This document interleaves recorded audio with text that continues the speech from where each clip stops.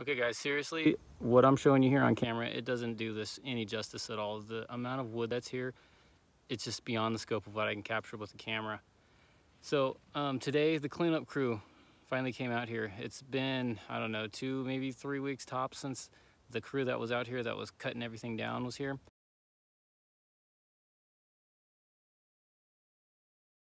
At this point, it's been about 10 days, eight to 10 days roughly, that uh, somebody was out here and they came out here. I walked around for like an hour with this guy, showing him what was going on. And then the whole point of him coming out here was just for me to sign paperwork so that the next crew could come in here and start doing the work. Okay, fine. So he came, he did his thing. Then the very next morning, I get the guy that's supposed to be running the crew out here, and same thing. I'm like walking around this place for an hour with the guy roughly, and at the same point in time, that's when Poppy's tractor got picked up, and it just got chaotic, and, and it got a little stressful there, walking around with this place with that guy and all this other stuff happening. And then, um, so I give him the tour, says he'll be back in an hour, and then uh, it's been like eight days. I haven't seen the guy. Today I get a call from somebody, hey, we want to come out and and look at everything and start cleaning the cleaning everything up. All right. So they come out here and um, first one of the first things out of their mouth, uh, they're talking about a grapple machine, this big truck that picks stuff up, puts it in a truck, and and takes it off to get shredded, chipped, whatever. And first thing out of my mouth was like, um, what's going on with the wood chips? You want wood chips? Yes, I've talked about this like with three other people. so the guys, two guys show up. I start doing a little walk around with these two guys, and then we get down here to this point, and next thing I know, there's two other guys that start walking down the driveway, and they kind of take over the conversation a little bit, talking about picking up everything with the grappler truck, getting it shredded, and then so I'm like, okay, so are you just the truck driver? What you know? Who are you? I don't I don't know the the hierarchy here of who these four guys are that are talking to me, and he's like, I'm the boss.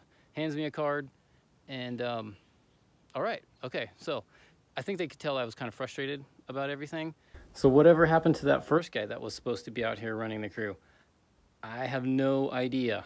Some of my language wasn't exactly PG, but you know, I kept my cool. Um, but they knew I was frustrated about everything. So anyway, this guy, I, I think he's a professional of dealing with people that are upset because he he had all the right things to say. He kept a real calm demeanor. He cooled my, you know, he kept me calm, and and uh, expressed everything that I wanted to hear.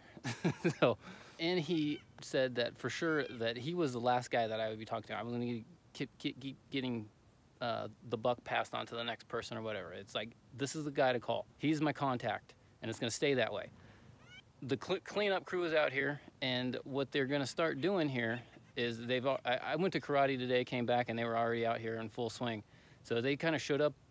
I don't know, maybe one, two-ish in the afternoon and uh, they were only out here for two, three hours tops, and, and I mean they've they've done a lot of work already, just a lot of work. I think there was like five guys out here. They had two guys on these machines, then they had a guy with a chainsaw, and then they had two other guys on computers, and I don't know what they were doing, but there were five guys out here. There was stuff going on next door on the other side of the fence. I mean, it was like it was like an ant hill out here. I mean, there were bodies everywhere, and um, so anyway, at this point, what we're looking at is they are going to take these piles, they're kind of going to go through these piles somewhat, and uh, all the lumber that is six inches or above, basically, they're going to put in a pile, and I can do whatever I want to with it from there. It's going to be either lumber, firewood, whatever. That's that's my that's my bag.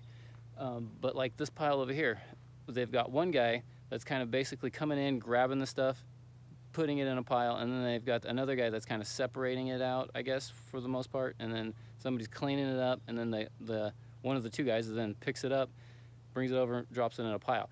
So I mean, it is like things are moving everywhere out here.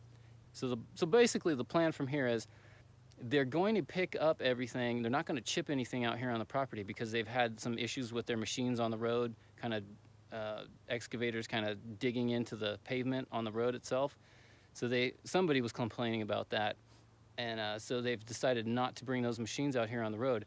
What they're going to do is they're going to pick this brush pile up, the stuff that is considered brush, and they're gonna put it in this big old truck that's got a, a arm, more or less it's got a grappler like what's on these, but just way bigger, attached to like a, a crane, and then it's also attached to a truck. So I mean, it's this one unit, it's pretty impressive.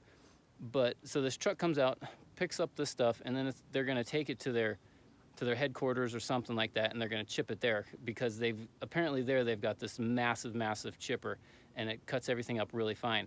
So um, so I knew I expressed that I wanted wood chips. Everything out here is a resource.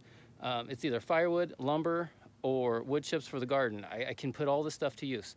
So what they're gonna do is pick the stuff up, shred it. Well, first off, what they're gonna do is they're gonna clean this up, okay? Then from there, they're gonna take the stuff that needs to be chipped, take it to their headquarters, get it chipped. And then once this place is cleared up, then he said he would bring out a truckload of wood chips. And he's like, how much wood chips do you want? And I was like, keep them coming. I'll take whatever you can give me. And he was like, hold your horses there. I don't think you know what you're talking about. so, so I got the impression that like one truckload is just going to be like probably more than the average person can handle.